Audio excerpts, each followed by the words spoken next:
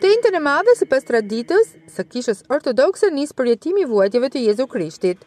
Shërbesa, ku lexohen 12 pjesë të shkëputura nga katër ungjinj, që tregojnë pësimin dhe vuajtjet e Krishtit. Thelbi i tyre qëndron në faktin që Zoti flet për këto ngjarje për misionin e tij për të shpëtuar njeriun. Nga ana tjetër, disa dyshojnë, të tjerë përdoren dhe disa nxitojnë të mbyllin një herë e përgjithmonë çështjen e Jezu Krishtit. Pjesa e ungjillit të fundit tregon vulosjen e varrit dhe vendosjen e rojeve, por Krishti ngjallet dhe i çliron të gjithë të frikësuarit.